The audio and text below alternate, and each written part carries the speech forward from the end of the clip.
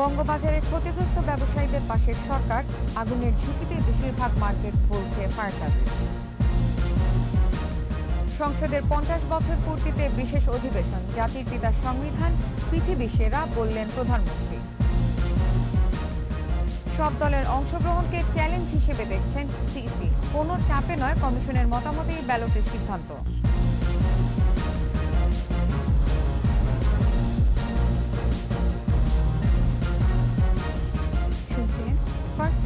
ইসলাম bank limited সংবাদ শিরোনাম। আমন্ত্রণ জানাচ্ছি রাতের একুশে সংবাদের সাথে আছি আমি নার্গিস মজিদ লিমা। দর্শক, একুশে টেলিভিশনের সংবাদ একই সাথে সরাসরি দেখতে পাবেন আমাদের Facebook page W W W dot Facebook dot com slash Ekushey twenty four অনলাইনে সামনেই ঈদ, তাই মানবিক বিবেচনায় আগুনে পুড়ে যাওয়া বঙ্গবাজারে ক্ষতিগ্রস্ত ব্যবসায়ীদের অস্থায়ীভাবে বসার ঘোষণা দিয়েছেন প্রধানমন্ত্রীর বেসরকারি শিল্প ও বিনিয়োগ উপদেষ্টা সালমান এফ রহমান। বঙ্গবাজার পরিদর্শন ও ক্ষতিগ্রস্ত ব্যবসায়ীদের সাথে কথা বলে হাইকোর্টে করা রিট প্রত্যাহারে নমনীয় হতে ব্যবসায়ীদের প্রতি আহ্বান জানান তিনি। রাসেল খানের রিপোর্ট। দ্বিতল ও সুবিশাল বঙ্গবাজার মার্কেট পুরে পরিণত হয়েছে ধ্বংসস্তূপে। শুধু মার্কেটই পড়েনি, পুড়েছে মাথা উঁচু করে দাঁড়ানোর প্রাণপণ লড়াইও। আর এক একটি পরিবারের বেঁচে থাকার স্বপ্ন। সকালে ক্ষতিগ্রস্ত ব্যবসায়ীদের দেখতে আসেন প্রধানমন্ত্রীর উপদেষ্টা সালমান এফ রহমান। জানান, পুড়ে যাওয়া জায়গায় বহুতল ভবন গড়ে পুনর্বাসন করা হবে ক্ষতিগ্রস্ত ব্যবসায়ীদের। যদি নতুন নকশা করতে হয় তাহলে আমরা আবার নতুন নকশা করে ওনাদের সমন্বয়ে আর সিটি কর্পোরেশনের সমন্বয়ে এটা করা হবে। প্রয়োজন হইলে আমিও কিন্তু থাকব এবং ওনাদেরকে যদি কোনো সাহায্য দরকার হলে আমিও সেই সাহায্যটা দিব। আসেন ব্যবসায়ী নেতারাও। সারা দেশ থেকে ক্ষতিগ্রস্ত ব্যবসায়ীদের আর্থিক অনুদানের ঘোষণা আসে। সিটি কর্পোরেশনের মাধ্যমে ব্যবসায়ীদের হাতে তুলে দেয়া হবে অনুদানের অর্থ। কালকে থেকে এটা পরিষ্কার করে ফেলা হবে এবং আগামী পরশু দিন থেকে এখানে যারা ক্ষতিগ্রস্ত ব্যবসায়ী তারা ব্যবসা পরিচালনা করার সুযোগ পাবেন। এবং উনি বারবার আমাকে বলেছেন যারা এখানে ব্যবসা করেছেন শুধু তারা মাত্রই এখানে স্থান পাবেন অন্য নতুন কেউ এখানে আর সুযোগ পাবে না। শূন্য থেকে আবারও শুরু করতে চান তাই সরকারের সহযোগিতা চান ক্ষতিগ্রস্তরা। এই মার্কেটে আমি প্রায় দশ লাখ টাকা মতো বাকি পাইতাম। তো এই টাকা তো আমি পাবো না আর আমার পুরা পুরা সাফ হয়ে গেছে। আমরা তো এমনিতেই সর্বশান্ত হয়ে গেছি। আমাদের এমনিই কিছু নাই।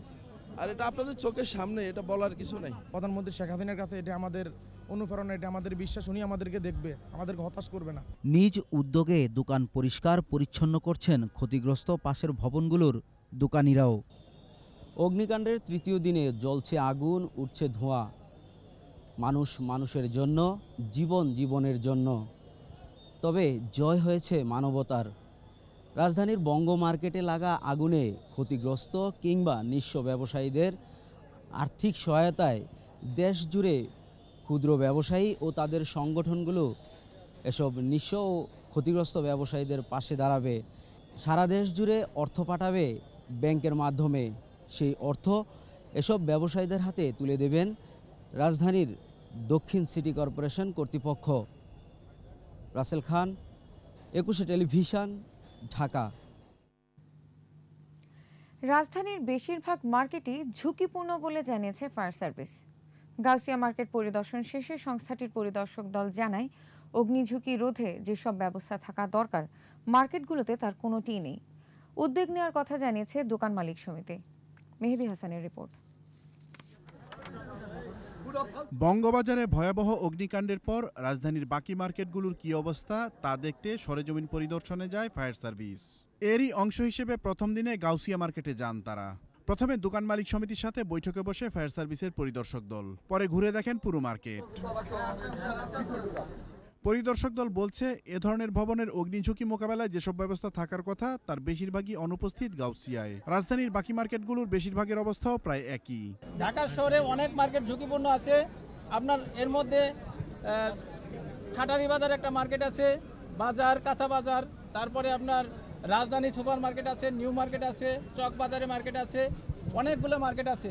কিন্তু প্রত্যেকটাই কিছু না কিছু ঝুঁকিপূর্ণ। কেননা এখানে সবাই সফলতা বাস্তবায়ন করতে পারে না বা ফায়ার সার্ভিসের যে রিকোয়ারমেন্ট ফুলফিল বাস্তবায়ন করতে কেউ পারেনি। আমাদের ঝুঁকিপূর্ণ আমাদের দৃষ্টিতে আমরা অনুরোধ করব এই মার্কেটগুলো যেন স্বয়ংসম্পূর্ণ হয়। গাউসিয়ার দোকান মালিক সমিতি বলছে মার্কেটের অগ্নিঝুঁকি মোকাবেলায় সব ধরনের উদ্যোগ নেওয়া হবে। সভাপতি হিসাবে তো আমার দায়িত্ব না যে দোকান দেওয়া বরাদ্দ দেওয়া। আমাদের। আমি বলি যদি কোনো ধরনের আমাদের এইরকম কথা বলে নাই আজকে বলছে আমরা কমিটিগুলি বসবো বসে এটা সমাধান করব। মার্কেটের নির্মাণ কাজের ত্রুটির দায় নির্মাতা প্রতিষ্ঠানের উপর চাপান এই ব্যবসায়ী নেতা। মেহেদি হাসান একুশে টেলিভিশন ঢাকা। বঙ্গবাজারে অগ্নিকাণ্ডের পেছনে বিএনপির হাত আছে কিনা খতিয়ে দেখা হচ্ছে বলে জানিয়েছেন আওয়ামী লীগের সাধারণ সম্পাদক ওবায়দুল কাদের। রাজধানীর আজিমপুর কলোনি মাঠে লালবাগ থানা আওয়ামী লীগের উদ্যোগে আয়োজিত ইফতার সামগ্রী বিতরণ অনুষ্ঠানে তিনি কথা বলেন। বঙ্গবাজার দুর্ঘটনায় ক্ষতিগ্রস্ত মানুষের পাশে না দাঁড়িয়ে বিএনপি অগ্নিকাণ্ড নিয়ে রাজনীতি করছে বলে মন্তব্য করেন তিনি। আন্দোলনে ব্যর্থ হয়ে তারা নাশকতা করছে উল্লেখ করে ওবায়দুল কাদের বলেন, অতীতেও দলটি মানুষকে কষ্ট দিয়েছে, আজও দিয়ে যাচ্ছে। বিএনপি রাস্তা বন্ধ করে রোজাদারদের কষ্ট দিলে আওয়ামী লীগও শান্তিপূর্ণ অবস্থান নেবে বলে জানান ওবায়দুল কাদের।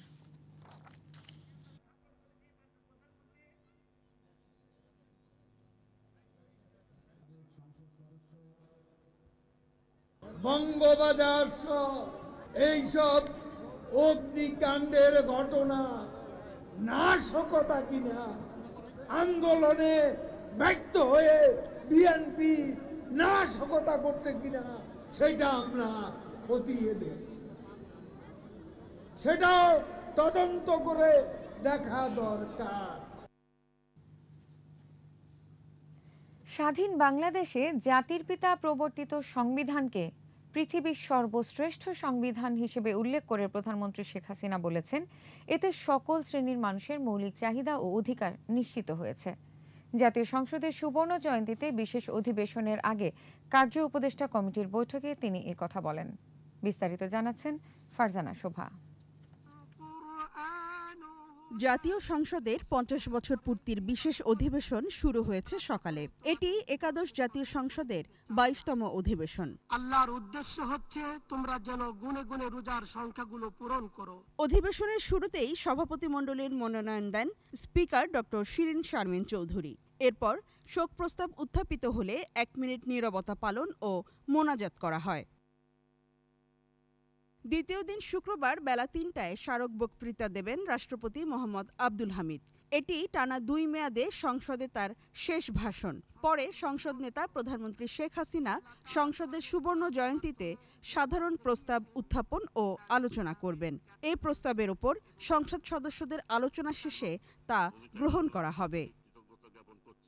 এর আগে স্পিকারের সভাপতিত্বে সংসদের কার্য উপদেষ্টা কমিটির সভায় প্রথম সহ সংসদের বিভিন্ন অধিবেশনে বঙ্গবন্ধুর ভাষণগুলোর সমন্বিত বিশেষ সংকলনের মোড়ক উন্মোচন করেন প্রধানমন্ত্রী।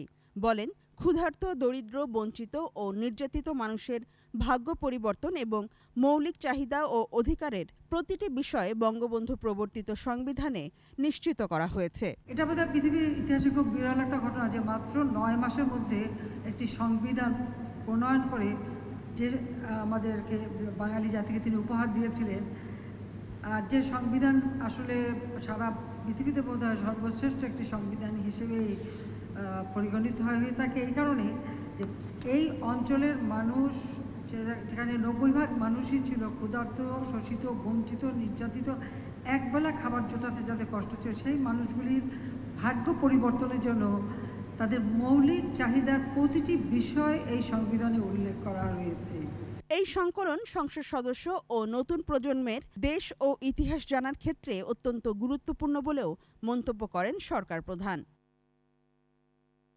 ফারজানা শোভা, একুশে টেলিভিশন, ঢাকা। সংসদ নির্বাচনে রাজনৈতিক সমঝোতা ও সব দলের অংশগ্রহণকেই মূল চ্যালেঞ্জ হিসেবে দেখছেন প্রধান নির্বাচন কমিশনার কাজী হাবিবুল আউয়াল। তিনি বলেছেন, ব্যালট বা ইভিএম এর শতভাগ সুষ্ঠু ভোট নিশ্চিত করা সম্ভব নয়।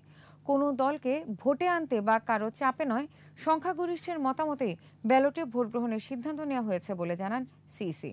শিউলি শবনমের প্রতিবেদন।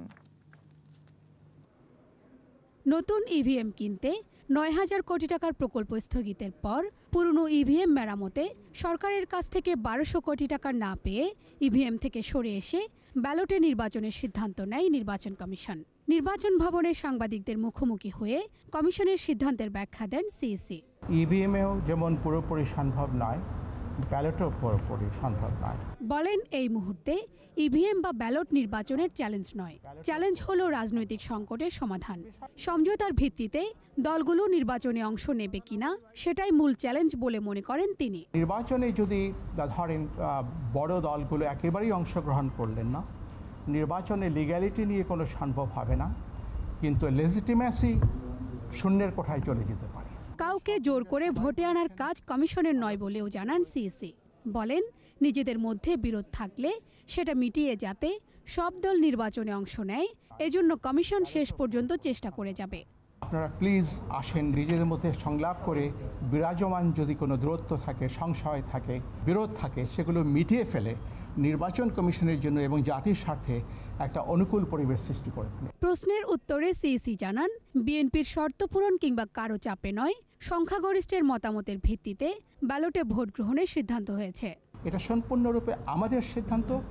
যেটা বলা হয় বাইরে যে এটা কি কারও চাপে করা হয়েছে কিনা বা বিএনপিকে নির্বাচনে আগ্রহী করার জন্য করা ওই ধরনের কোনো চিন্তা চেতনা আমাদের মধ্যে কাজ করে। তবে ইভিএমে ভোট কারচুপি নিয়ন্ত্রণ করা ব্যালটের চেয়ে সহজ বলে মন্তব্য করেন প্রধান নির্বাচন কমিশনার। একটা পারসেপশন ক্রিয়েট করেছে রাতেও ভোট হতে পারে। কিন্তু ইভিএমের ক্ষেত্রে সেটা সকাল আটটার আগে মেশিনটা চালুই হবে না। It is so automatic Shiuli Shabnam Ekushey television Dhaka. Digital নিরাপত্তা আইনে সাংবাদিকরা যেন হয়রানির শিকার না হন সেদিকে সরকার নজর রাখছে বলে জানিয়েছেন তথ্যমন্ত্রী ডক্টর হাসান মাহমুদ। সচিবালয়ে ক্রাইম রিপোর্টার্স অ্যাসোসিয়েশন নেতৃবৃন্দের সাথে মত বিনিময়ে তিনি বলেন সাংবাদিকরা দেশের চতুর্থ স্তম্ভ। সংবাদ পরিবেশনে দায়িত্বশীল এবং বস্তুনিষ্ঠ হওয়ার আহ্বান জানিয়ে মন্ত্রী বলেন, আইনের অপব্যবহার যেন কেউ না করে, সেদিকেও নজর রাখা হচ্ছে।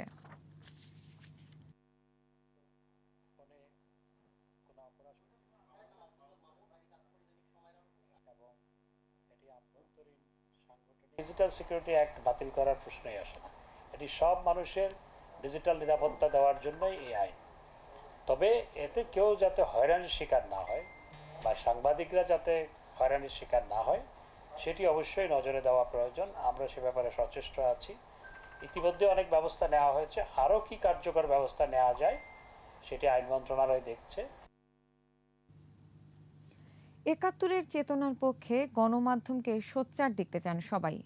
কিন্তু যেসব গণমাধ্যম এই অবস্থান থেকে বিচ্যুত, তাদের প্রয়োজনে বয়কট সহ কঠোর হস্তে দমন করা উচিত। কেন্দ্রীয় শহীদ মিনারের মানববন্ধনে এই অবস্থান প্রকাশ করলেন বিশিষ্টজনেরা।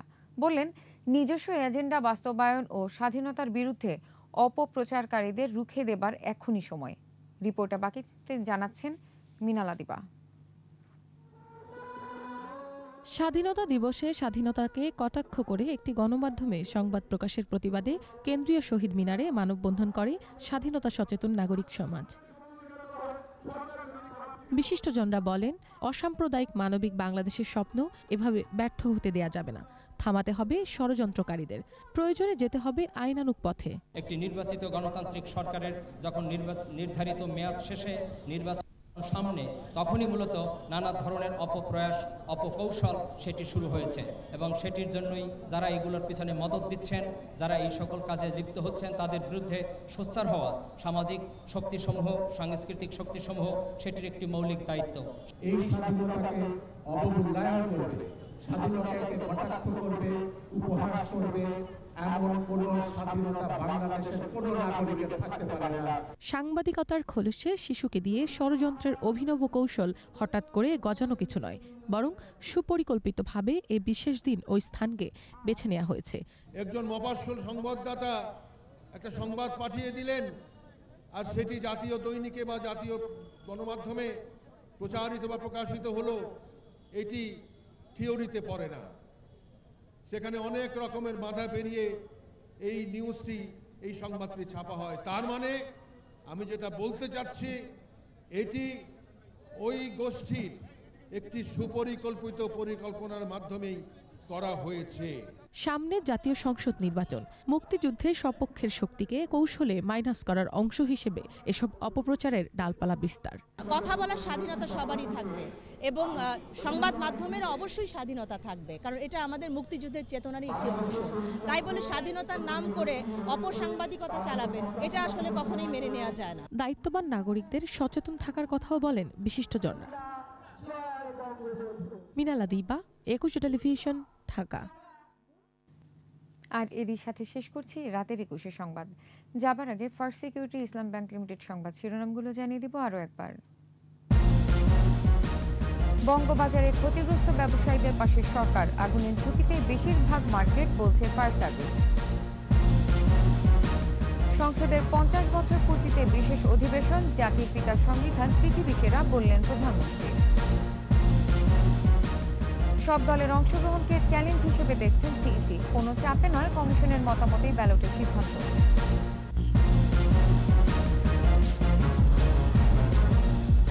সর্বশেষ খবর জানতে ডায়াল করুন টু জিরো টু ওয়ান নম্বরে আর ভিজিট করুন। একুশে ড্যাশ টিভি ডট কম ওয়েবসাইটে এছাড়া ফেসবুকে ভিজিট করতে পারেন। Facebook dot com slash Ekushey twenty four online একুশের খবর দেখুন, একুশের সাথেই থাকুন।